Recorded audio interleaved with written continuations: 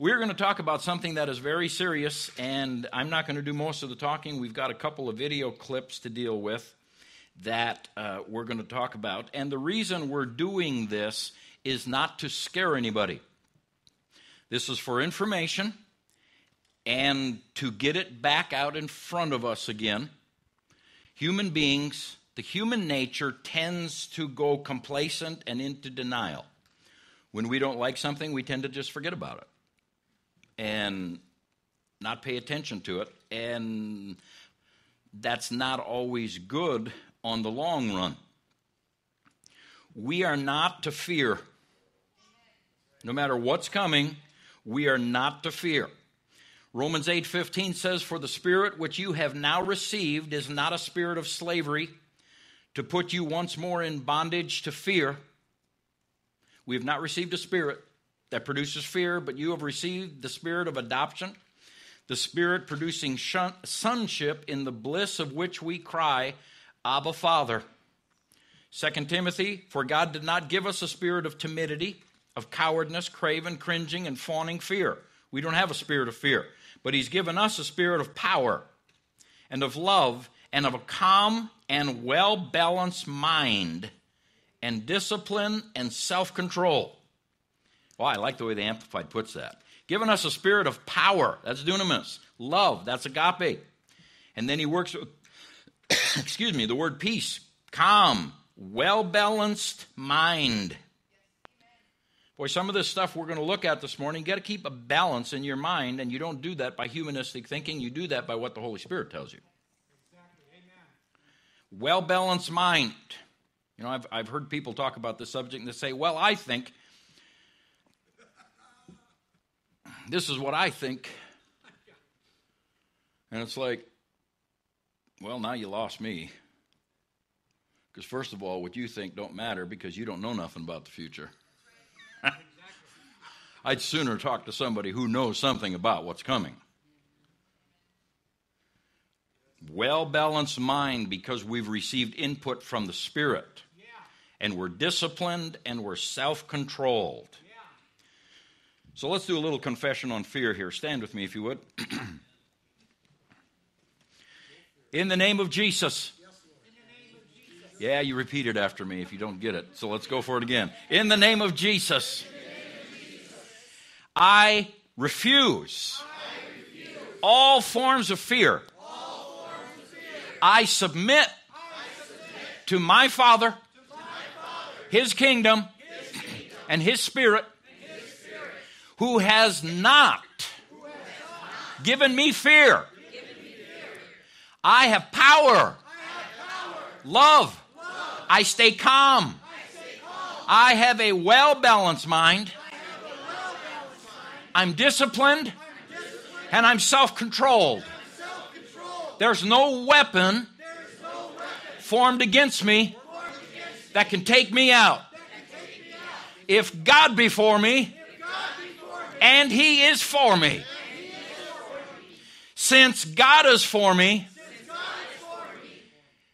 anything against me cannot prosper. I refuse fear. I refuse it. I will not submit to it. I will not think by it. I will not make decisions by it. I will not see life through it. I walk by the Spirit and by Him alone. In Jesus' name, amen. Amen. You can be seated. So, we're not dealing with trying to rouse up fear here this morning. Really, that's, that's solid. I want you to understand that right away. I'm not bringing this up to scare people. But we're also not ostriches. We're human beings who have been given the ability to rule and reign in this earth with God's power. Ostriches approach fearful things by sticking their head in the sand and act like it's not there. That's why they put their head in the sand. So they can't see it and hear it and think about it. They're safe as long as their head's in the sand. You know, the rest of them is pretty much a target, but they don't know it.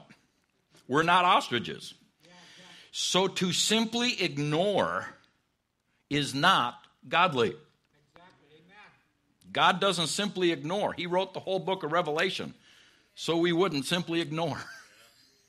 if He wanted us to ignore it and not think about it, He didn't need that book in there. Yeah. Serious. He wanted us informed. Jesus wanted us informed. He talked about it. If the key to living godly lives is just don't know about it, act like it don't exist, then what in the world did Jesus talk about it for? So we're not ostriches. We're human beings, and God wants us to walk this thing out in power. We're going to look at two videos. One is about 20 minutes long, and the second one's about 10 minutes long. And then I'm going to give you some articles talking about uh, the Shemitah, and the first video deals specifically with that and how that works in with what's going on now and uh, the economy and America's future and so forth. For those of you that were with us in 2007, and I've got a question on my mind before I go to that anyway, uh, we sent out an email to kind of give people a heads up saying, hey, there's something important this weekend. How many of you saw that? All right. Maybe we need to go switch to Twitter or something because that's not enough. I'm glad you're all here. But that's not enough. Maybe we need to do something with texting or whatever because uh, if something big happens and I need to get a hold of you, obviously email's not the way.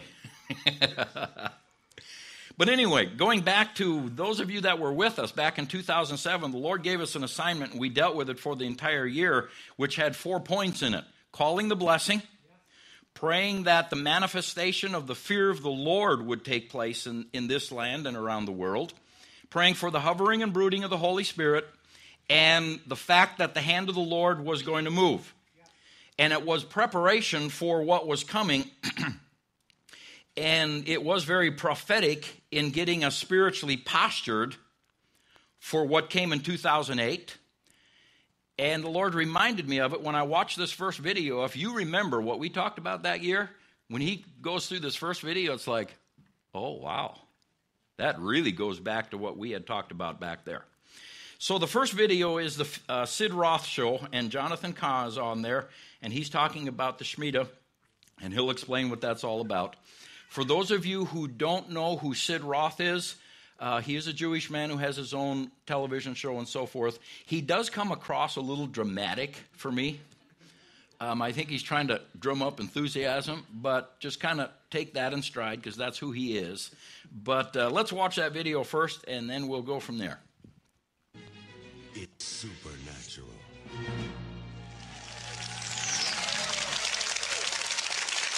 Hello, Sid Roth here. Welcome to my world where it's naturally supernatural.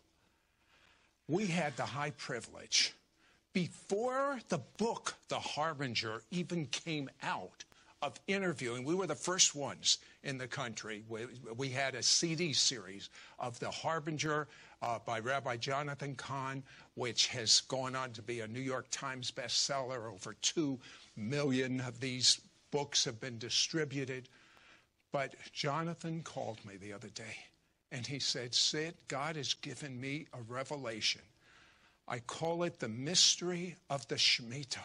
And it's so big that it affects everything we as a people are personally doing and will affect the rise and fall of the United States of America.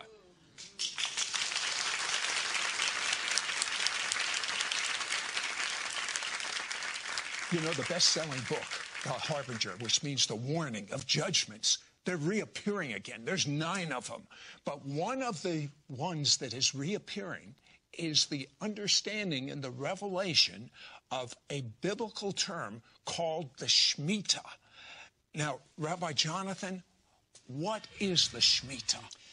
The Shemitah is an ancient mystery, goes back over 3,000 years to Moses, Mount Sinai yet it is affecting everything from 9 11 to the rise and fall of the economy, to the crashing of the stock market, to the rise and fall of nations, everything from World War I, World War II, what is happening right now, and what will happen. It is the most precise, mind boggling biblical mystery, and it's coming true now.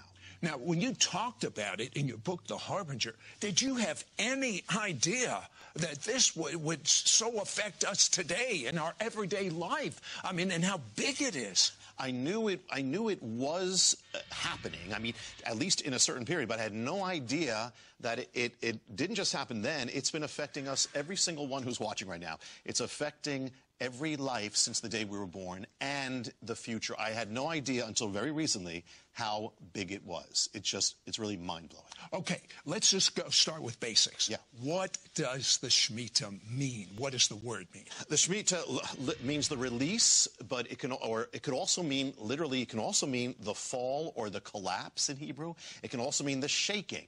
And what it, what it is is this. In Mount Sinai, God gave this law to Israel. Every seventh year, you would have a Sabbath year, a year of rest. That rest was called the Shemitah. There was no sowing, no reaping of the land.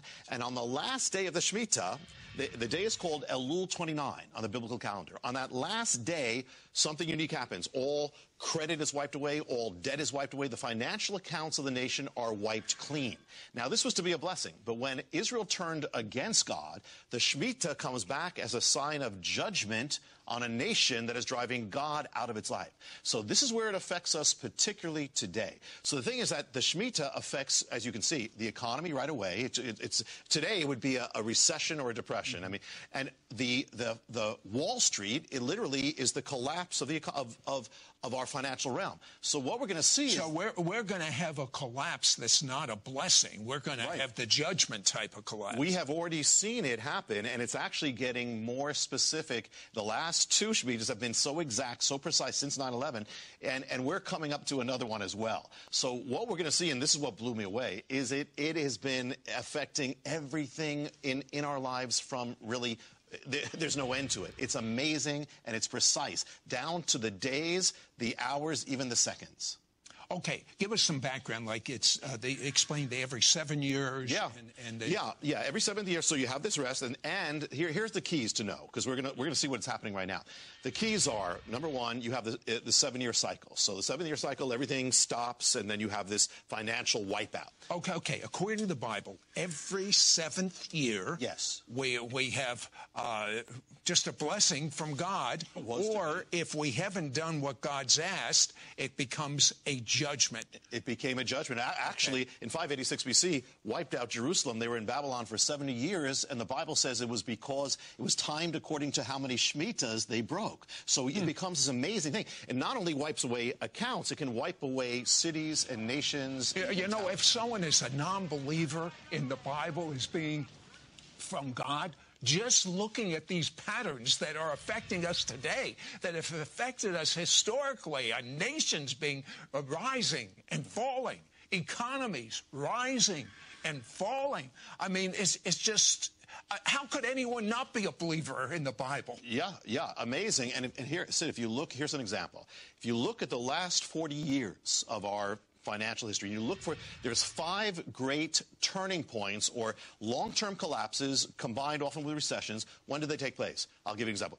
1973, first one. Second one, 1980. Third, 1987. Fourth, 2000. And fifth, 2007, Great Recession. What do you notice about all of them? Every one of them is separated by a seven year period. I mean, 73 to 80, seven years. 80 to 87, seven years. 2000 to 2000, seven years. Are any of them linked specifically to the year of the Shemitah? 1973, year of the Shemitah. 1980, Shemitah. 87, Shemitah. 2000, Shemitah. Uh, t- 2007, the Shemitah. Every single 100% of them happened according to the appointed time in the Bible. Some of these things went down to the seconds. So if you go, listen, take it larger. Go to the greatest crashes in, in history, and you'll find do, do any of them take place linked to the year of the Shemitah? The majority of them do. I'll give you an example. The, the, this is the third greatest crash in history 1937 and 38. When does the Shemitah happen? 1930, 37 and 38, same, same year. In fact, when the Shemitah begins, the next day, Wall Street collapses. Here's another one the Great Recession. When, when does that happen? It is 2007 and 8. When does the Shemitah happen? 2007 to 8. And on the exact day of the Shemitah uh, appointed to wipe away the financial accounts, Elul 29, the whole stock market collapses. The Great Depression is even linked to this. When you have this peak day of the, Depre- of, of the Shemitah, right after that comes the greatest month collapse in American history. I mean, it is mind-boggling. You know, Jonathan, I used to be a stockbroker on Wall Street. If I had only understood these biblical principles, if I was a mutual fund manager, I could be the top mutual fund in the world. I don't understand. Uh, maybe that's why there's going to be a great wealth transfer. Uh, the, the, the wealth of the sinner is stored up for the righteous. But we have to understand these biblical principles. When we come back, I'd like to find out the future of America based on the Shemitah. How about you? We'll be right back to It's Supernatural. I am amazed, Rabbi Jonathan, how big this is. This isn't some little principle. This affects everything. Explain. Yeah, the Shemitah uh, has so many facets. It's not only, now we just touched on how it's affecting the economy, Wall Street, everything, but it actually affects even physical realities. And the first thing, one of the mysteries in here is called the mystery of the towers.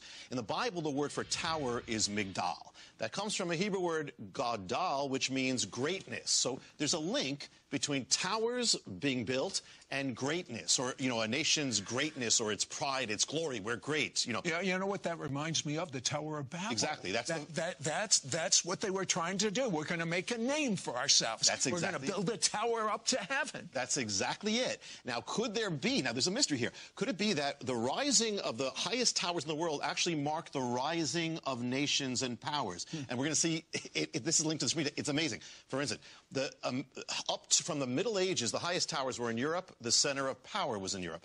But a change took place in about 1870. There's the greatest tower rises up in a new land. It's America.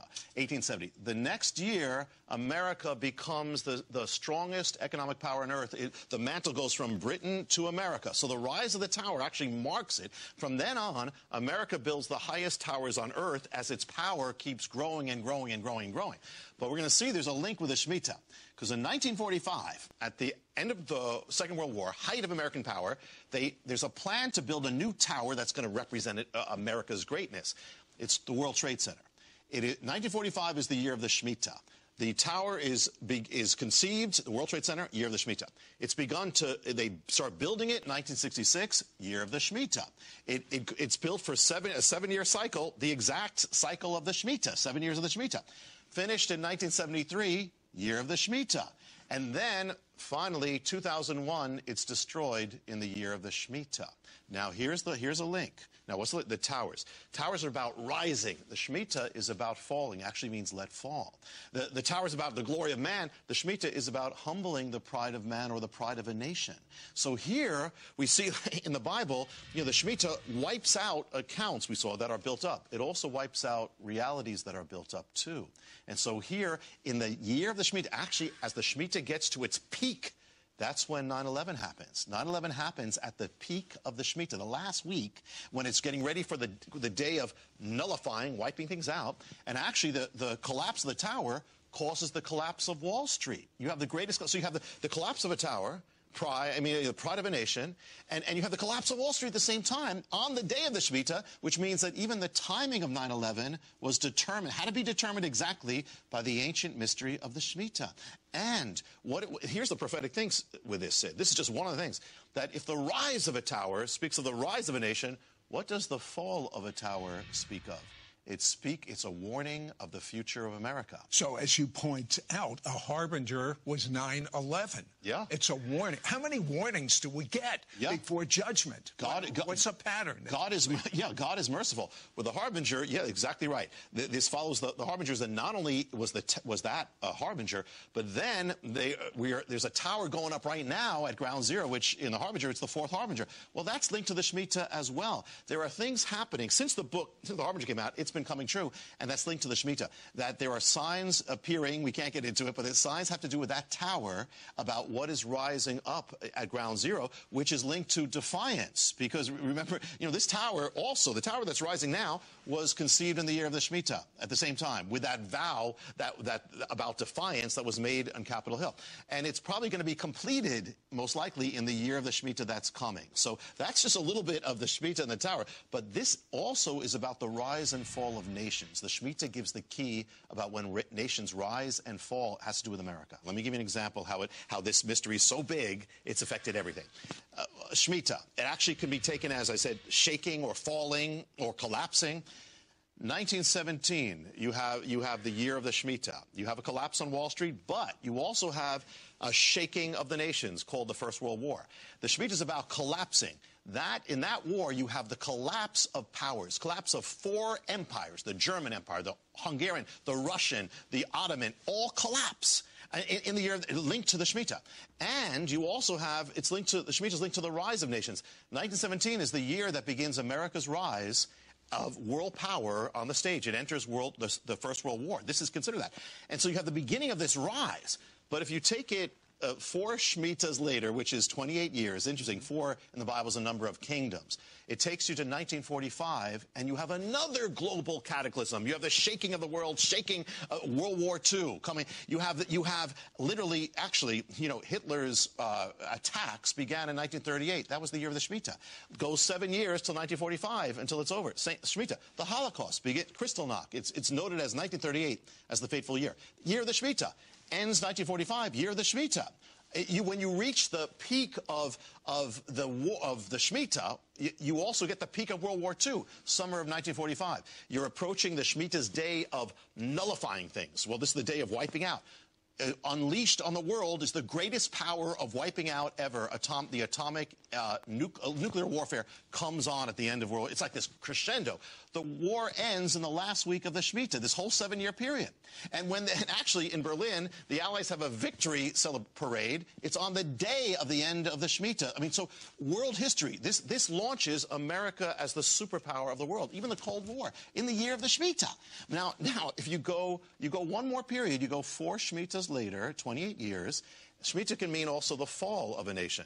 It gets you to 1973. Key point. 1973, America decides to legalize the killing of unborn children. Same sin ancient Israel was judged for. And that same year also is the year America loses its first war. Uh, Vietnam collapses. On the same day, August 15th, that America won the war before in the other Shemitah.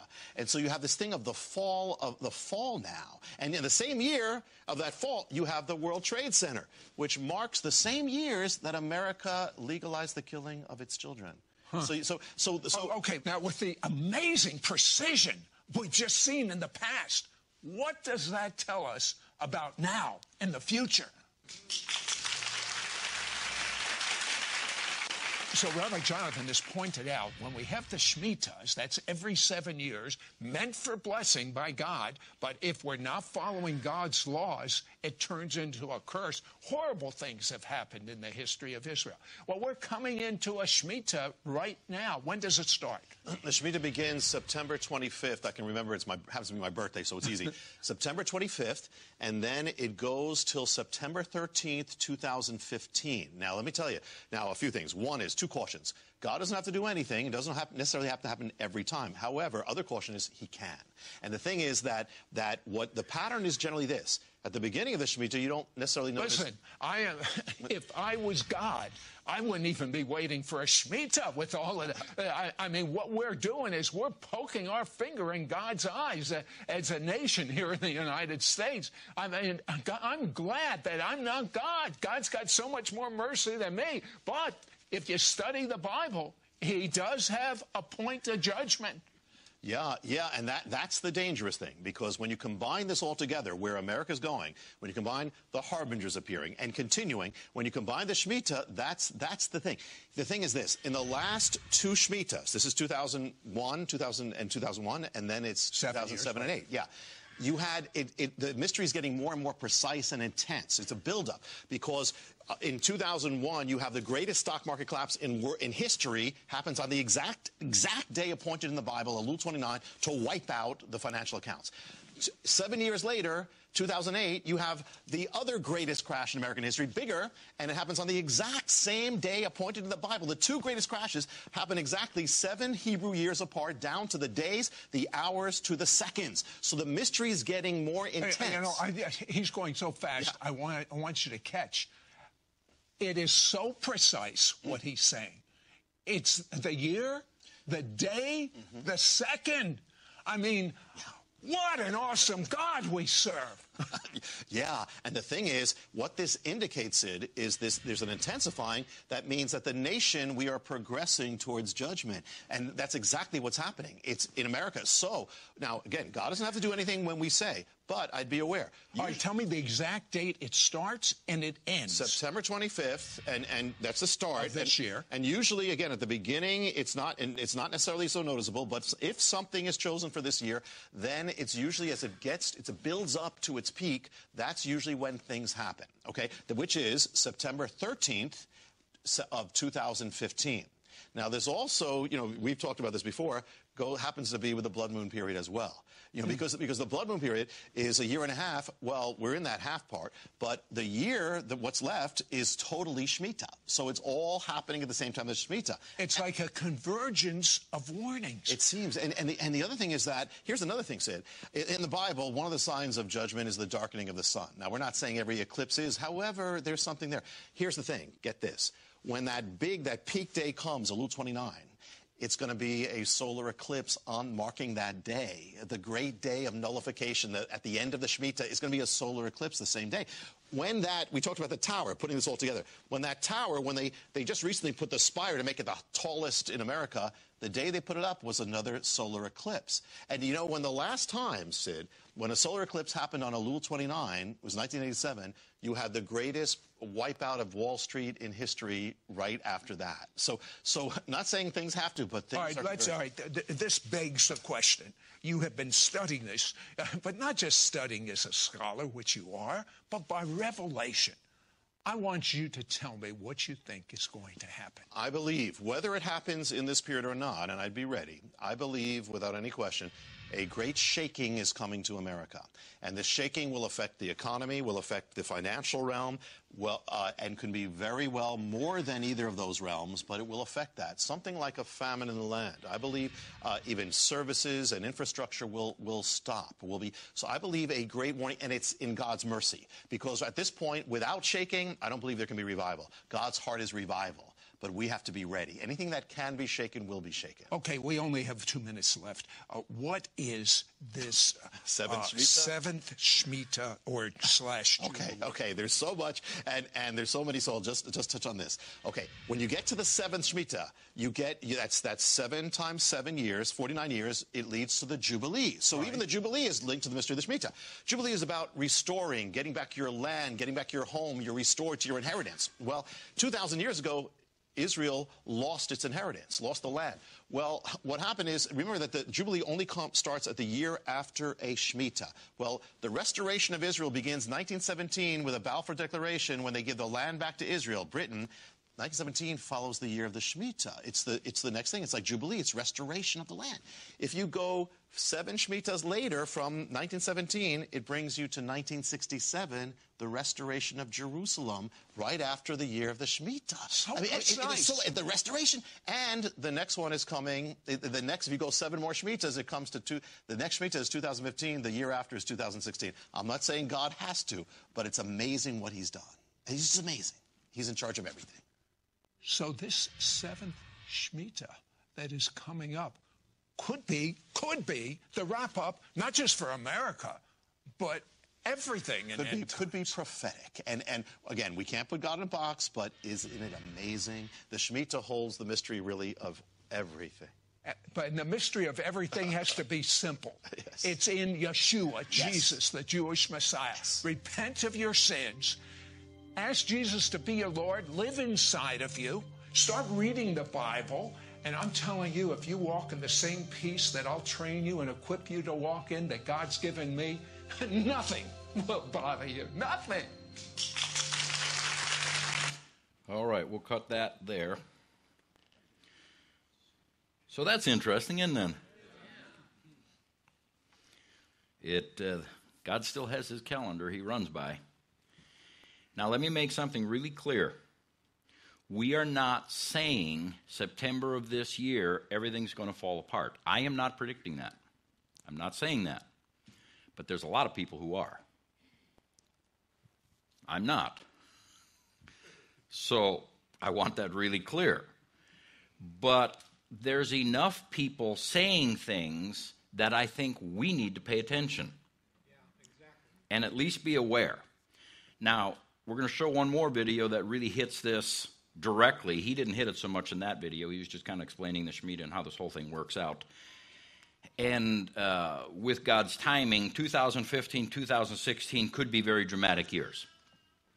The core issue about America right now is the national, and if you want to go the world scene, the national and world disobedience to God and the lack of repentance. That remains the core issue. It, that issue will not go away unless we see some national or international repentance. That is the reason judgments are coming. Remember when we studied, well, this is going to be like a few of you. kind of like the email thing. When we studied the, the hand of the Lord moving, when the hand of the Lord moves, depending upon how the person is postured, or the church is postured, or the nation is postured, two things happen when the hand of the Lord moves scripturally. You will either be blessed or you'll be judged. And it's not determined by God, it's determined by how the person is postured. If you're postured correctly before God, you're in righteousness, you're not in disobedience, those kinds of things. You're trying to live for God to the best of your ability. Blessings come on you when the Spirit of the Lord moves, yeah. hand of the Lord moves. Yeah. If you're postured wrong and you're in disobedience or you're in going the wrong direction, judgment will come on you. Curses come on you. That's why I say whenever the Spirit of God moves, everything moves. Some people's lives go great and others just plain fall apart and they go flat in their face. Well, Spirit of God moved. America likes to think when the Spirit of God moves, everybody gets blessed. No, that's not scriptural. Um, it's just, and I don't think we have that set of messages up online yet. We're going to get to it, but I don't think it's there. Might be, you know, we might need to just make an effort to. I'll have to get in there and edit them and, and get it ready and get it up. So, in case any of you want to go back to what we talked about, the hand of the Lord moving, it's a fascinating study, and it goes all the way Old Testament through New Testament. So, the core issue again, is disobedience and the lack of repentance. That's the core issue behind this whole thing. America is currently postured wrong before God. A lot of this world is postured wrong before God. There's a lot of churches postured wrong before God. And the hand of the Lord, what he's basically saying is the hand of the Lord may move in September this year and may continue off into 2016. Anything can happen, depends upon how you're postured. So now this next one, of course, uh, he already mentioned it, but this next video clip, I believe they mention it again. You also have the fourth blood moon that comes into effect in September of this year, um, which may mean something, which may mean nothing. It's just interesting that all these things are coming together at the same time. This next video clip is, we're going to watch about 10 minutes of it. The whole thing is a Jim Bakker show. It goes about an hour and a half, and they get into all kinds of stuff. I just want to give you the first 10 minutes because it's a whole different perspective. It uh, was filmed on June 24th of this year, and it's an interview with predominantly Rick Wiles. This is who Rick Wiles is. He was an executive pr- producer for TBN in the 90s. And in 1998, I believe, uh, it's not on this piece of video, I'd watched it a while back. In 1998, the Lord told him, He said, I want you to quit what you're doing. And he was, he was at the top of the ladder at TBN. He was, he was running things behind the scenes. He said, I want you to quit this, and you're to go around the country and start preaching repentance, because if this country doesn't repent, there's horrible things coming. Now, everything's tied to repentance. God is very forgiving and very loving. It's all tied to repentance. But his response was, I'm not a public speaker. I take care of electronics behind the scenes and I produce shows and things like that. I'm not a public speaker. And he kind of wrestled with God for a couple of years. Uh, he talked to Paul, Crouch was still alive then. He talked to him a couple of times and said, This is what I think the Lord's telling me to do, but I'm in no big hurry. And Paul told him, He said, If God's telling you to do it, you better do it. I'll let you go and I'll bless you and, and so forth. We'll find somebody to replace you, but you better do it. Well, he kept wrestling with it for a couple of years, and his, the Lord gave his daughter a dream. I think she was 12 years old, and told her in the dream, If your dad continues to disobey me, your whole family's going to be in trouble. So she woke up the next morning and said, Dad, I don't know what you're supposed to do, but whatever it is that God told you to do, you better get with it. And he said, I better get with it. God's not speaking to me about it anymore. Now he's talking to my daughter. And he's been, since then, he's been going around the country preaching repentance, and they address that a little bit here. So let's watch this next video, and uh, I'll get up when it's supposed to end. We can watch it, right? Because the internet was causing us grief this morning. So let's try it, see how this goes. I'm going to build a studio for you, and I'm going to take this program national. November 99, standing out in a pasture field, Tolar, Texas, full moon. And he said, I will give you a national audience on television just before the judgment strikes America. Jim, nobody has invited me on television until you today. this is it. This is it, Jim. How can that be? Because God had this ordained. He's But using the- you. But you, you are, you, you have a lot of friends, I know that. and the great men like Yes. Rabbi. Oh, they Yes. love you. We produced a television program. We put it on satellite. Not one Christian network or TV station would broadcast it because I said repent. Mm. It And- almost and- it almost bankrupted our When- ministry. When, Lori and I were married, in 1998. I was, we left the Dream Center In and went out to preach, and they wouldn't let me preach Revelation wherever I went. Right. I could preach anything. I could tell my story. They wanted the story, the testimony. But don't preach Revelation. That's No right. church after church. I'm shocked I know. how they have banned the Revelation, and most people living in the churches don't know. I know. But you and I walks, and now God showed you 9 11, yes. And God showed me 9 11 in 1999. 99. Mm-hmm. Lori was there when God gave it to me, gave me 31 things, mm-hmm. wrote it down, preached it in front of many, many hundreds of people, a few mm-hmm. thousand people probably. And when I saw it happening, I watched it on television as the towers came Yes. down. I had already seen it I know. ahead of time. Jim's And God has exactly brought you just here for a reason. You are here to teach our school. You you have walked the walk of broadcasting. You understand broadcasting as much as probably anybody I know.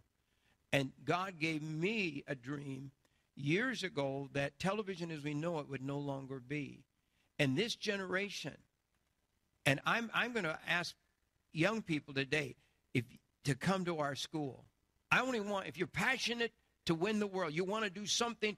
You say it's I want to do something dangerous. Well, come and work for God. Let's do something for God. We've got to step out. And I believe God Give 'em a reason to has kill us. raised up. Yeah, God is raising up right. this generation, and there is so much the headlines. You talked a few minutes ago. I wanted to talk about this. ISIS has not even begun in America. If we don't turn to God, He's our only covering. Our only covering is Jesus Christ, the Son of God. I want to. I want to be under His tent. Yes. Yes. I want to be under His covering. Amen. That's right. We can do anything un- under right. that covering. But I'll tell you what, God's speaking to, we might call ordinary people, Yes. grandmas, grandpas, moms, dads, teenagers. Yes. He said he's going to pour his spirit upon your sons and your daughters. So there, Yes. God's going to use. Yes. I believe it's time that the gifts of the Spirit rise up. Amen. within the church. Right. We're going to need to hear from God in these That's right. next years, don't you think? Amen. Did you guys hear the uh, General, uh, what's his name? Um, Olson. I believe it was. General Olson. He, he, he just brought amazing speech about prayer. And they want to court martial him now. Why are we allowing this to happen? Why doesn't anybody stand up for him? Exactly. That's right. Why don't we all say, no, no, you can't do this anymore. This is the United States of America. We're being overthrown by domestic enemies. We have we have been infiltrated and taken over from inside. Wow. You talk about the volcanoes. 40 volcanoes are erupting right now, and 34 of them are along the Ring of Fire, which is, mm-hmm. you know, on the off the west coast of the United States of America, and something big's about to happen there. They're laughing now. It's not many months away. They won't be laughing anymore. I, something's happening. I know. And it's too many voices. Too many people who I know walk with God are hearing from God. And it's time to be ready. Yes. You know, it's it's crazy. The chickens are being killed and dying by the 1000000s mm-hmm. The worst epidemic of bird flu in this country. That's right. And actually, since 2014, this epidemic of bird flu has actually hit 35 different countries. It's all over the world, that's isn't right. it? Not just the United States. That's I- I, I just found that out today. Hmm. And the drought on the West Coast. And then you're talking about something I'd never heard of before. And that's crazy because I thought I've What? studied every part. Is that they'll be poisoning food. Yes. I know they're going to poison water. God showed me Right. that years ago that they would they're going to literally poison the the city water supplies, and and ISIS will probably be doing stuff like that. Yes. God spoke to me that ISIS is going to attempt to derail, destroy a lot of trains in this mm-hmm. country. You haven't seen anything what they're trying No. next. 9/11 was God's hand of protection coming off. Yes. And God, God, people say, God wouldn't do that. Well, God didn't necessarily destroy the towers. He just took his hand of protection down And allowed the enemy allowed the enemy to come in. And that's what, in the Old Testament, that's what always happened. Is that right? That's precisely right. Now, where the Lord does things is in things like the climate and natural calamities. L- Last week, there's, I- I'll, there's a guy that you got to interview, um, Cliff Harris. He's a long range weather forecaster. He's up in Coeur d'Alene, Idaho. And uh, Cliff's a, a born again, spirit filled believer, you know, but he is he's an expert on long range weather. Companies, ranchers, construction companies pay him, uh, you know, to to uh, forecast what the weather will be years in advance My years in advance because they're making you know major commitments in construction and farming and things like that. Yeah. He told me last week that the drought that's in California, which the scientists now say is the worst in 1,200 years. I had a I had a scientist on the program a couple weeks ago. She said it's the worst in 1,200 years based on tree rings. Cliff told me that this drought will expand.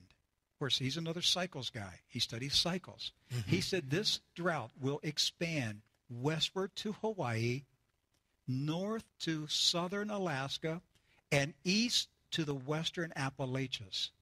Wow. Well, where's the farming going to be, Jim?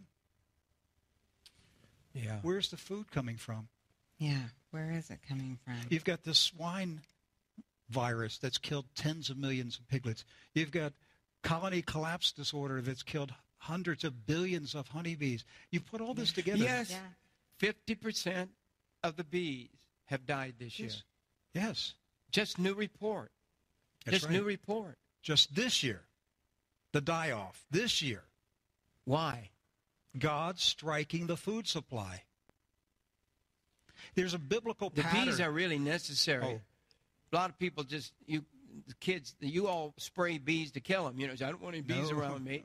Well, the bees do the pollinating for your your plants. They they spread the pollen. the biblical pattern for judgment is drought, famine, pestilence, war. Drought, famine, pestilence, war. That's the pattern. Yes. Okay, we're we already have the drought. We're going into the famine. We have the pestilence. The only thing that has not struck the United States is war. That's the last stage. God keeps saying to a nation, repent. Don't go there. He keeps turning up the heat. War is the last stage. Wow. Rick Joyner talks about the the southern border of, Texas and, and down into Mexico. He's talking about the hordes of hell literally Yes. coming across. Have you heard his Oh, absolutely. What do you think of that? I saw it the very morning that he released it on the internet. Some people sent it to me, and he was. You could tell he was. He was kind of shaken there that morning because he said, "I'm going. I came straight into the office and I'm recording this. You know, this just happened to me last night. This dream. I knew. Yeah, he's he's that dream. He was seeing the, uh, not only the gangs that are coming, but it's it's the gangs of demons that are Yes. coming. Yes. Mm-hmm. Yes. Mm-hmm. He's talking about the mark of the beast. Mm-hmm. And people are accusing him. Have you all read it? No. Are you mad? Most mad? of them probably haven't. But they're accusing him of that. He, he said, it's not the mark of the beast that we're afraid of, is the mark. He said it's it's the spirit of hell and Satan that the mark is represented by. And people are just saying, well, you know, he's saying you don't need to take the mark of the beast, or you can take the mark of the beast, mm-hmm. or whatever. That's not what he said. Mm-hmm. We better stop fighting each other and start listening and start studying. Basically, all he was saying is say this this is a television set. You know, when when I was a little boy, my pastor preached that television was from the pit of hell. And we found out he had one hidden up in his attic. but I mean this was back when it, you know, In the 50s. so he brought the pit in. Yeah. But the thing of it is, television can be used for the gospel. Television can be used and is being used as the most demonic, evil, pornography, whatever. And so all he was saying was when you take that mark of the beast, you're signing up for the Antichrist. Yeah. You get what I'm saying? Yeah, like it's like it's not the actual television set itself that's evil. It's what the television set can do. It's what comes through the television That's right. set. And, and that's what the mark of the beast is. And, All and do you, We'll go ahead and cut it off there. It, like I said, it goes on another hour and 20 minutes, or yeah, about an hour and 20 minutes, and they just discuss all kinds of things. Now, this was taped June 24th, 2015. In 1999, he claims, uh, Rick Wiles claims, the Lord told him, Once I give you national exposure, that's when the judgment begins. He just got national exposure June 24th, 2015, this year, a little over a month ago. If he heard correctly, that's interesting. He said he went to Panama. Uh, they go talking about the Lord's been telling numerous people to leave the country or have a place to run to because of as bad as it's going to get in this country. Um, he hasn't told me anything, so I must be in for the long haul here or something. but uh, he said he went to Panama, one certain city there, and he, he had uh, tweeted or something or Facebook, I don't know what. He said, I'm going to go to Panama, and when I'm down there, I'm going to eat at such such a restaurant and such such a night. He said he got down there to the restaurant. He said the place was packed with Americans. And he said, What are all you people doing here? Well, we came to eat with you. He said, Why? He said, We all live here. The Lord has already sent us out of the country. We already live in Panama. And we found out you're coming, so we wanted to see you. it's like, okay. Um, so they're talking about things there that are beyond economic. It's not just economic. Remember, John Paul Jackson talked about the perfect storm, and there's five major things that are going to get hit. They're taking it a little deeper. I do want to. So now there's a spiritual input. There's things coming from Christians. Um, there's a number of things that are coming from people who are not claiming to be Christians. Do you have that article in James Davidson? Let's do that one first, and we'll just hit some bits and pieces of this. Um, can you slide her down so I can see the top? Does that work or not? If it doesn't, that's fine. Uh, July 20th, so this is a few days old. He's talking about the stock market. Several noted economists and distinguished investors are warning of a 50% stock market crash. Billionaire, this guy's a billionaire, for example, recently threw up a red flag on national broadcast when he declared the public is waking is walking into a trap again as they did in 2007. Just slide down to the next underlined stuff, and we won't read it all. Ron Paul is also involved in this. Uh, you can see that there. Uh, a couple lines up, it talks about Ron Paul. He's been on this for a while, trying to warn people that there's a problem coming. Um, the writer of this article and who they're talking about is James Dale Davidson. Davidson makes the strongest case for a looming crisis. Right now, there are three economic indicators screaming sell, sell in the stock market. They don't imply that a 50% collapse is looming, it's already at our doorstep. Slide down a little further. Not because he makes the strongest case for collapse, he uses over 20 unquestionable charts to prove the fact that it's already started, but because Davidson has a remarkable track record of calling every major economic shift over the last three decades. For example, Davidson predicted the collapse of 99, 2007, along with the fall of the Soviet Union, Japan's economic downfall, just name a few. His predictions are so accurate, he's been invited to shake hands and counsel the likes of former President Reagan, Clinton, uh, he has had the good fortune to befriend and convene with George Bush Sr., Steve Forbes, Donald Trump, Margaret Thatcher, Sir Roger Donald Douglas, and, and Boris Yeltsin. Hence, if Davidson calls for a 50% market correction, one should pay heed.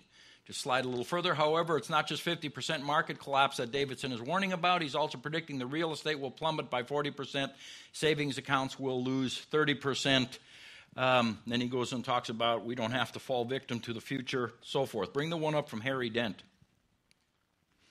Harry Dent from Dent Research, he says, Consider yourself warned. We are at the pres- precipice of the greatest stock market collapse since the Great Depression. Make no mistake, the giant bubble is about to top, about to pop. Um, the fun, uh, it's not fun and games, not fear mongering. Today's economic reality. My name is Harry Dent. Uh, we gained national attention in our work warning investors of the 2008 credit crisis and subsequent stock market collapse many months and years before it happened. Um, 18, and 1989, we warned of the economic boom in Japan would end and begin a 12 to 14 year downturn. Around the same time, we predicted the U.S. economy would struggle with a short but sharp recession in 1990 to 91. Uh, we not only called the top of the tech markets in early 2000, but also issued the strongest buy signal for our 30 year history in October 2002, then watched the Dow soar from 7,200 to 14,200.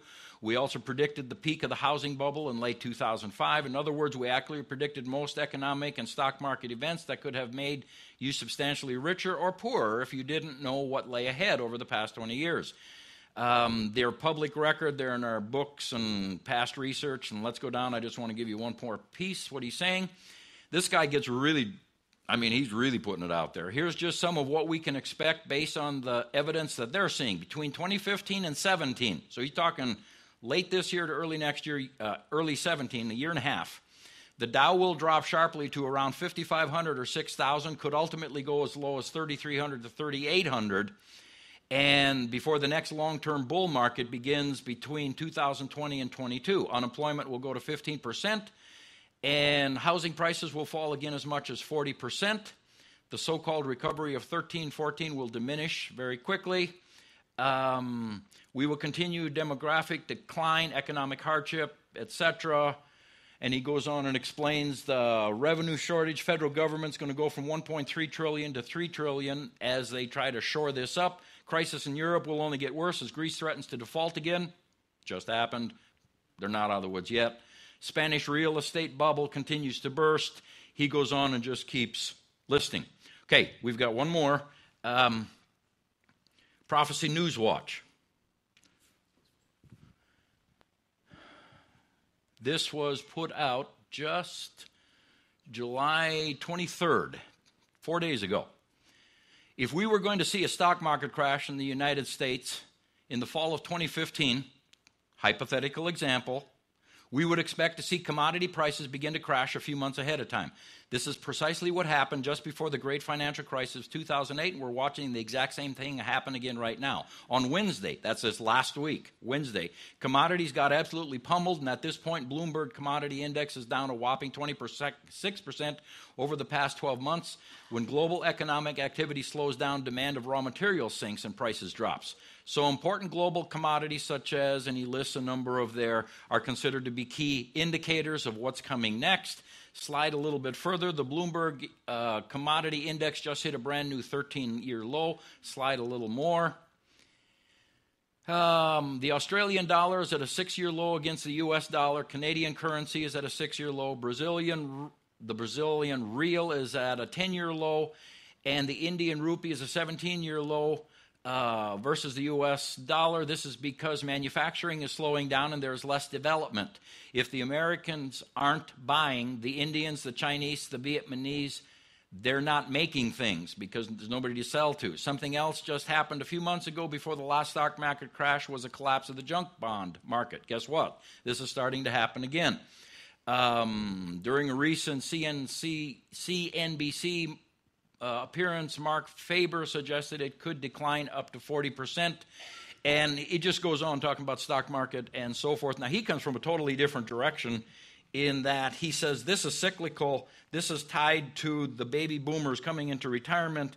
He says this has to happen, and he gives all kinds of reasons. We will have these online if you want to read them in their entirety. Uh, you can download and read them, and that's all good. Um, I watched a DVD here uh, just this last week from uh, someone got to me concern uh, from a man called Lindsey Williams. Um, somebody heard of him before, huh? Did you? Um, supposedly, he is in with what he calls the elite or the world power people, world bankers, that realm. I guess they don't go to church so much. They just they got so much money to throw around. He said they they brought him on board years ago to be their personal chaplain. And he was chaplain for them. Now, I tried to substantiate this, and I can't find a lot. Did you ever find much to substantiate what he's saying is truth? No? Okay. So it's, it's like, okay, whatever. Uh, but he does make some points that go hand in hand with what everybody else is saying. And that's the part that intrigued me. Um, he said he remains friends with one of the old guys. He's been out of that chaplain position for quite a while. He remains friends with one of the old guys of the world powers that be. And he got a hold of them this spring, I think, or late last fall, last year or whatever, and said there are uh, a number of things you need to do before September of 2015 because the plan of the powers that be, the elite or the world powers, their plan, and he said they don't always get their way. He says sometimes God gets in the way. And he says, believe it or not, some of these people are born again Christians and they are serving God uh, they're just running business as they see it. And I'm going, wow, that's interesting. But anyway, he said they don't always get their way. He said they acknowledge sometimes God gets in the way. He said sometimes countries get in the way. Things happen. He says they don't always get what they want. He says, but their plan is between September and the end of 2015 to run a total economic collapse and affect as much of the world as they can. Their big push is to go for a one world money system. That's, that's what they're pushing for. Well, interestingly enough, in September of this year, you have a big uh, convention at the United Nations where they're bringing in the Pope to introduce a worldwide. I don't. Anybody remember what it's called? I was going to look it up and forgot. Uh, it's a worldwide initiative where they're bringing as many nations of the world on board to basically get the world moving towards socialism and take care of the poor and get the money out of the rich countries into the poor countries. And the Pope was already calling for a new currency. He says we can't do it with all these different currencies. We have to have a one currency so that it's easy to transfer money around the world and, and get it into the countries that need it and be hum- more humanitarian and etc. Um, this guy, Lindsey Williams, brings that up and says, I'm not convinced that's not the beginning of the covenant. He said, I'm not saying it is the signing of the covenant. He says, but I'm not convinced it's not the beginning of what's going to lead up to the covenant which ushers, ushers in the Antichrist. Um, you probably, some of you, if you're following this at all, you've heard of this guy, James Rickards. Um, he deals with the book here, uh, dealing with money and what's coming, and um, he has worked in the United States government for 25 years, something like that, 20, 25 years. Um, knows all the big wigs, works with all the big wigs, this, that, and the other, and he says, beyond any shadow of a doubt, he said, we are on the way into the worst financial collapse this country has ever seen. And uh, then this guy is Porter Stansberry. Um, he, again, for sake of time, I'll just not say much about what he's got to say. I had some things marked, but I'll just skip them. Um, Future of America, he says, I see two things. First, major Western economies are impoverished by their debts and are struggling to avoid a collapse via desperate attempts to print their way out of perdition. In other words, print more money. Second, I see the rise of the world's largest future economy in the midst of the massive effort to buy gold and control the global market via owning countries owning gold and silver. Um, he too goes on and lays out that there are going to be, the economy is going down. It's, it's just the way it is. Okay? So now we've heard from spiritual input via video. I've given you a bunch of references about economic input from non spiritual people. You say, why would you do that? Well, we've been following this for a while. We watched that John Paul Jackson video years ago.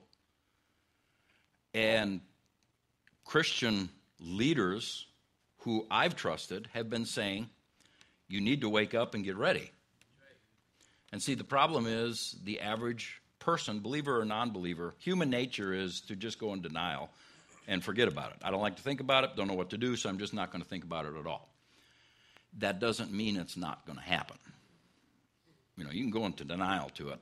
David Wilkerson in the 70s was saying it's coming and telling us what to do.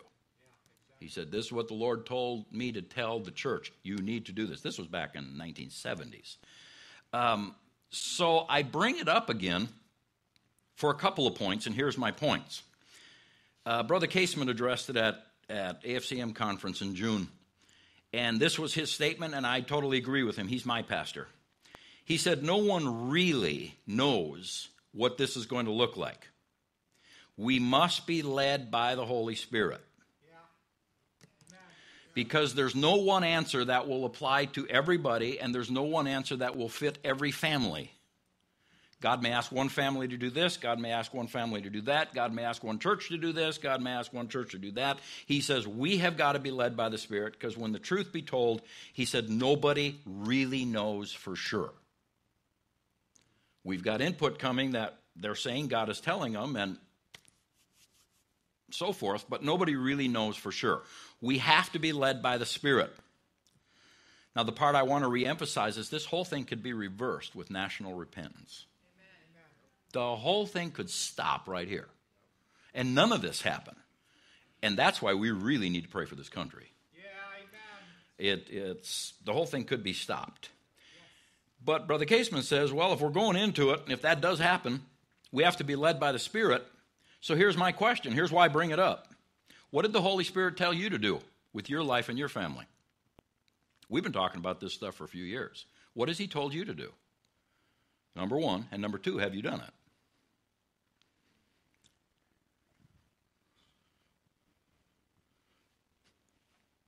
Like I said, well, things we don't like to think about, we tend to ignore. And the Holy Spirit may have already told you to do something a year or two ago. Have you done it? What did he tell you to do? Now, I can give you a little suggestion. This came out of the video we watched with John Paul Jackson. Five things he said the Lord told him that will be needed to go through the rough time uh, real food, address real food, real need.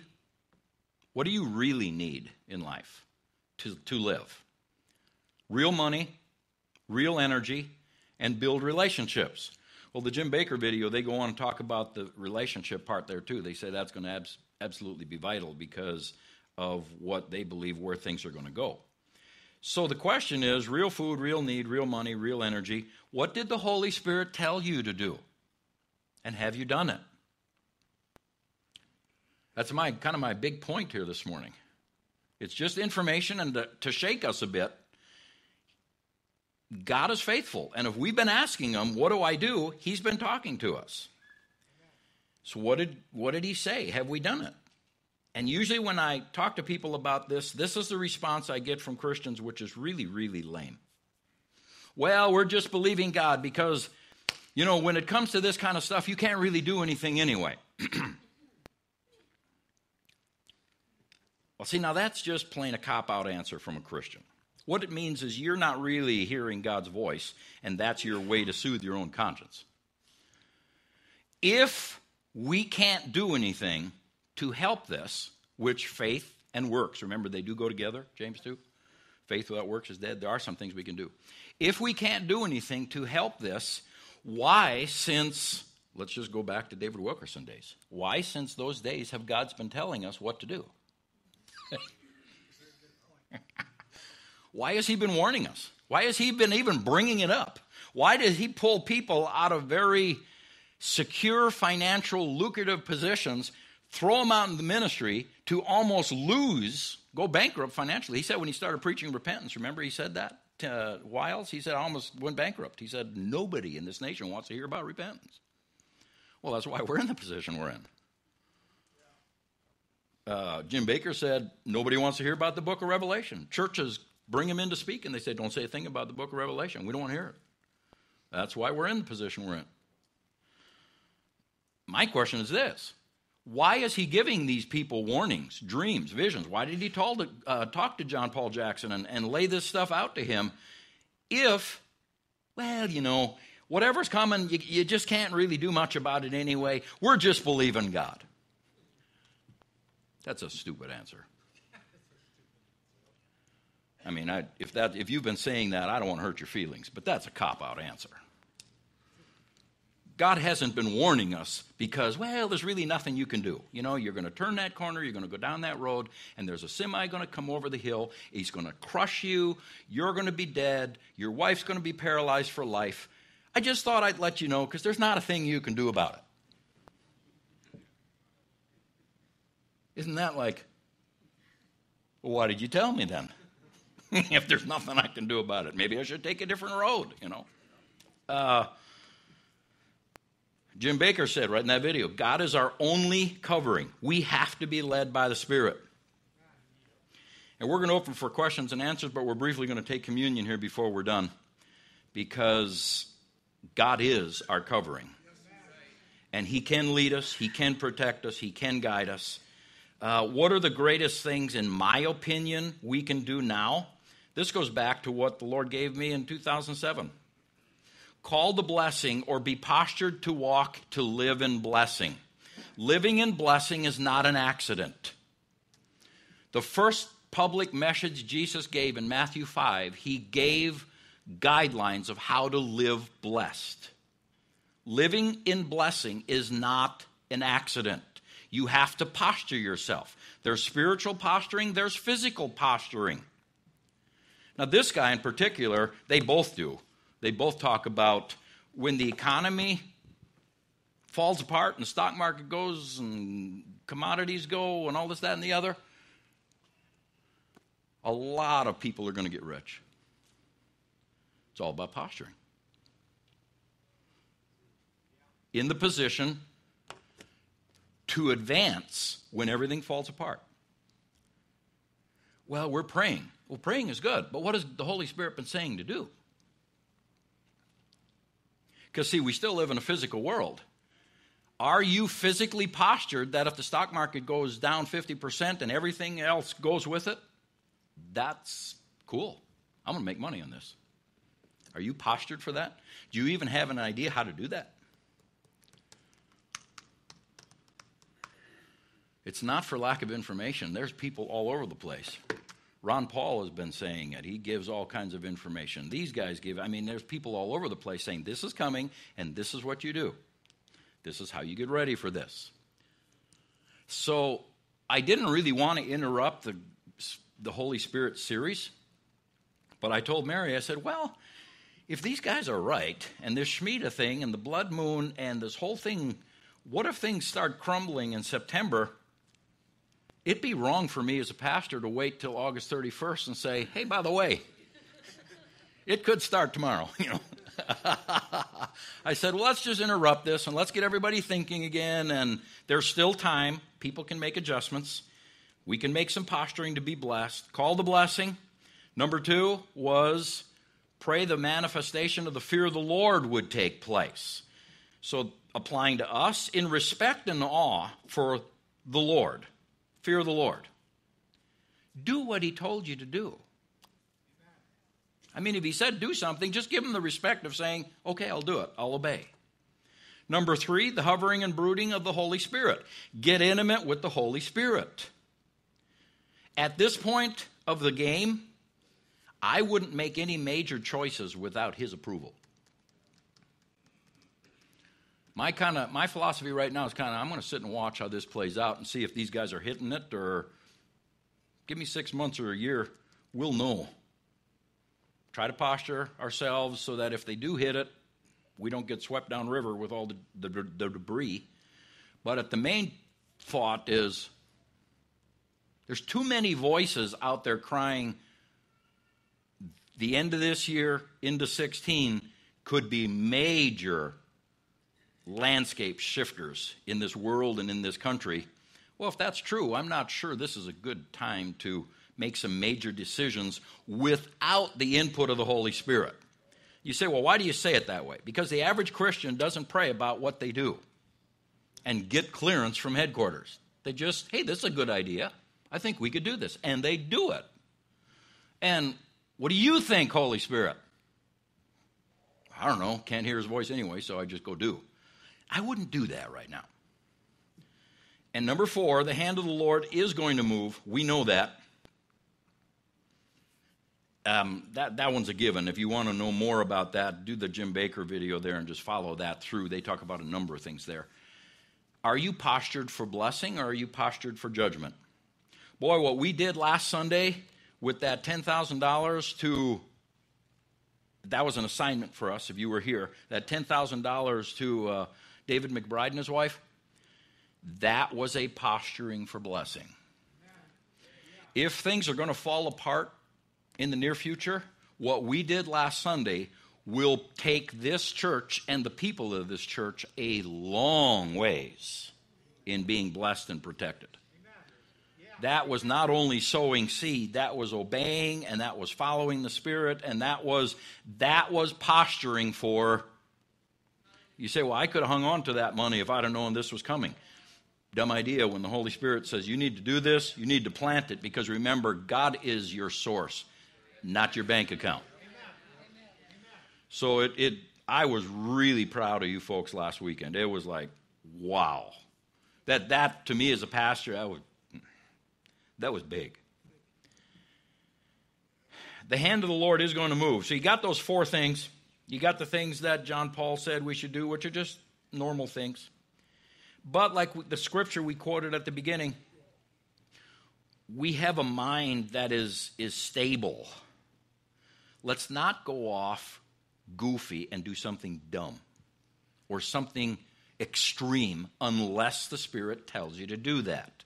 Once you've postured yourself, once you've heard from the Spirit and He says, do this, do this, do this, once you've done that, now just my advice is just live like, like normal. Pray, stay in a position to stay blessed, hear from the Holy Spirit. Let's live life like normal. You, you got some of these guys giving advice sell your homes, this, that, and the other. It's like, Let's hear what the Spirit of God is saying. He knows what's coming.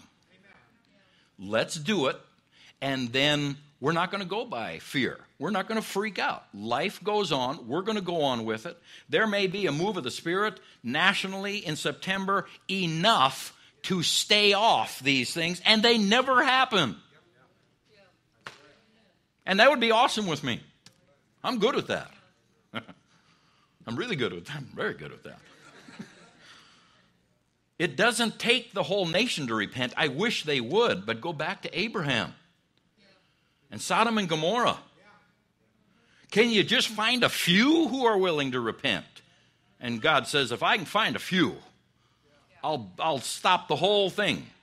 Well, the problem was he couldn't find a few. Well, maybe in America he can. You know, and the whole thing stops. So don't get goofy and start pulling big levers and doing strange things. Just whatever the Holy Spirit told you to do, do it. Posture yourself for blessing. Be wise, be ready. If you need to gain some knowledge, some information, it's out there. Search it. Don't just run into it ignorant. Go in with some knowledge. And let's look to our God as our source. And that's what I want to do with communion this morning. So, Hebrews chapter 6. When God made his promise to Abraham, and that promise was cutting covenant, that's what these emblems are about covenant. When God made his promise to Abraham, since there was no one greater for him to swear by, he swore by himself. So, in other words, he couldn't take an oath by anything or anyone greater than him because he, he's it. So, he took an oath on the basis of he himself, saying, I will surely bless you and give you many descendants. And so, after waiting patiently, Abraham received what was promised. Men swear by someone greater than themselves, and the oath confirms what is said and puts an end to all argument. Because God wanted to make the unchanging nature of His purpose very clear to the heirs, that's us, the heirs of what was promised. He wanted to make this thing clear. He confirmed it with an oath. God did this so that by two unchangeable things, which, if you read the context, was he, he took the oath on the basis of his existence, his, his life, and his word, what he said. Two unchangeable things in which it is impossible for God to lie. We have fled, we who have fled to take hold of the hope offered to us may be greatly encouraged. What is the hope offered? The promises that he made in covenant. That's the context of this whole thing.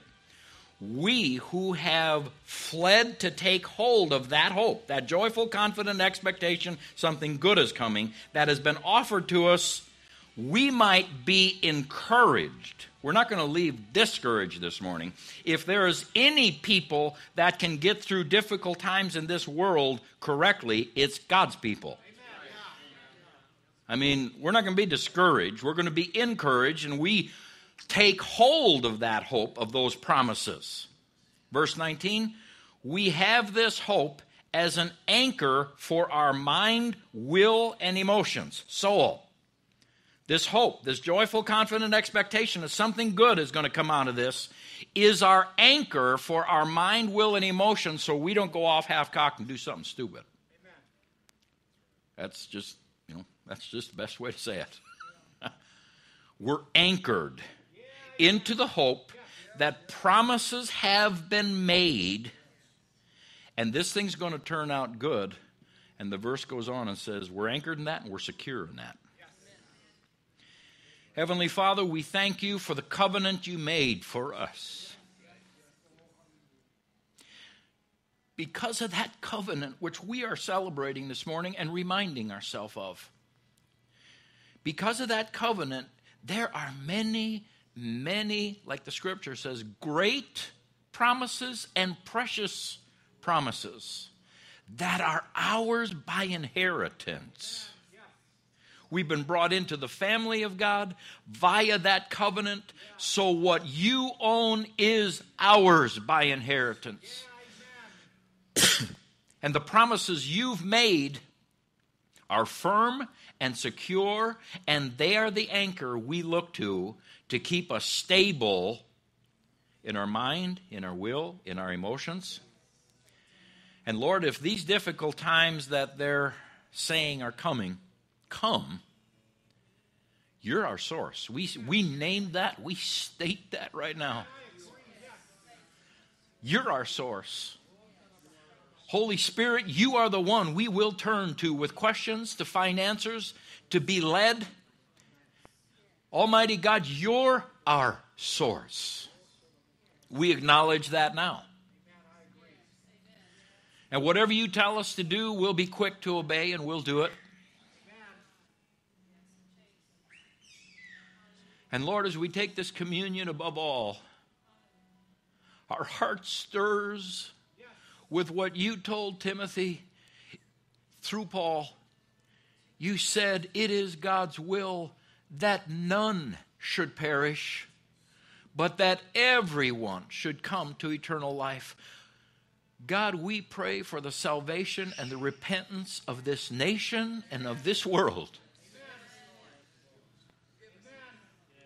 I know you are righteous. I know you're, you're holy, and there's times your hand moves, and because of the posturing of people, things happen that are not good. Because of the posturing of nations, things happen to those nations that are not good. But God, we're asking again for mercy. And I know there comes a time when he who hardeneth his neck is suddenly cut off, and that without mercy. There comes a time you say, That's it, I'm done with mercy now, and I got to do what's right. But Lord, we ask for mercy in this direction. I pray that by your Spirit, this country is swept in, uh, is swept in to an attitude of repentance. Move on this land, move on this world put a stop to this hating of the Jews, hating of the Christians, hating of their God. And Lord, the first thing you desire is it stops by them coming to know who this God really is and repenting and getting a relationship with you. And we come into agreement with that and we call for that in Jesus' name. Let repentance sweep this nation and let it start in the churches where it's supposed to. In the name of Jesus. But should it not, Lord, we look forward with a joyful, confident expectation.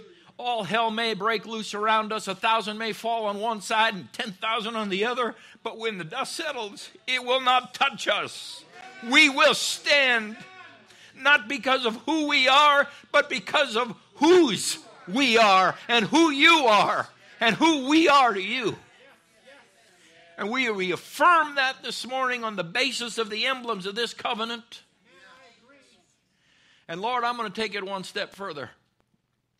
I am going to ask that you help us in this physical world to posture ourselves correctly in a physical way that if this whole thing just blows to pieces, there will be people among us.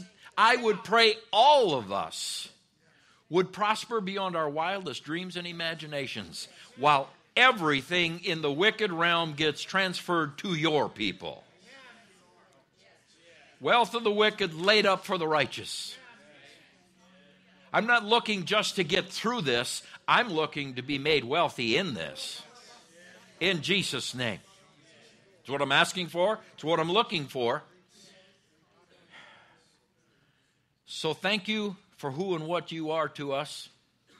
And thank you for the mission you've given to us. And thank you for a faithful group of people who are willing to step under that mission, just like was put into life and, and shoe leather last Sunday in that offering. And Lord, keep us on track. Holy Spirit, keep us on track. Don't let us veer. Don't let us get into the ditch. Keep, keep us straight. Keep us on track. We refuse fear. We're not going there but that our life and everything that you want us to do by the time we're done as individuals, as families, as a church, we will have brought glory to you and your purpose and your kingdom will have been prospered in Jesus' name. Amen. Amen. Take the communion. The year of Jubilee is the forgiveness of, of not only all debt, but the restoration of property back to its original owners. Um, so it's literally everything that you maybe lost during bad financial decisions or you sold a piece of land or whatever. All of that got reshuffled back to its original owners once, a, once approximately every generation, so that every generation had a clean slate to, to move forward with. That's the year of Jubilee. So, in other words, if my parents made some bad decisions and lost the land and this, that, and the other, someplace in my lifetime that would be restored back to me. And I would get a clean slate to go after it again. The year of Jubilee is, is really exciting. Now, I heard someone else talk about, they said, okay, you've got the Shemitah year, and then 2016 is the year of Jubilee, and that's when God restores back to nations. Well, I heard somebody else talk about that, and they said, well, you know, again, we don't know where this is going, but we just had a huge Iran Iranian deal struck that everybody behind the scenes who believes in Israel or America says this was the dumbest thing our president has ever done. He has sold us down the river and sold Israel down the river. Um, and this person said it might be too quick for all this to take place. He said, but then again, we don't know where Iran's at in their nuclear progress because it's so secretive. He says, Is it possible the year of Jubilee is when the nation of Israel comes under attack and God sets them back in the forefront as a nation and restores back to them their honor and their dignity by going to war for them and knock some of the. It could be a really bloody, ugly year and still be a year of Jubilee, is the guy's point in that he restores Israel back into their rightful position rather than they're always running with their tail between their legs. Um, I hope he's wrong. He was just thinking, like, possible. Okay, you got one? Um, as we were talking at the end about how um, we need to pray as a church because we could turn this all around if a few would repent. And just what rose up in me is that we can't have that that spiritual American church mindset come on us. And this is what so many of our missionaries have been saying and I get like a I feel it's a righteous anger about it because we sit here and we pray for America to repent. And then we leave, and when we're having bad days or we're going through something we don't think is right, we treat the people in the community like crap. We treat people that we come across that maybe have different views than us, and we try to cram the Bible down their throat. And getting America to a place of repentance is what we've been talking about for years Mhm. now. Yep. It's about building relationships with people. And so we can't just pray repentance in. We have to act that repentance to the people. So when like big subject right now, the gay and lesbian community, so many Christians are taking the stance of you're gay or you're lesbian or whatever. You know, God tells you to repent of that and they they come across so hateful and judgmental and that's just continuing to push that crowd away from the church. And so i just i challenge people that if you you're coming across people that have different views or are living in life of sin don't cram the bible down their throat. Don't cram repentance down their throat but become their friend and find out why. Like what's making them tick? Become a part of their life and then praying for doors to be open to share the gospel with them and show them the gospel with Mhm. your life. Mm-hmm. And that's going to bring, in my opinion, repentance. That's the that's the Mhm. would it be the tool that is going to bring repentance? You feel.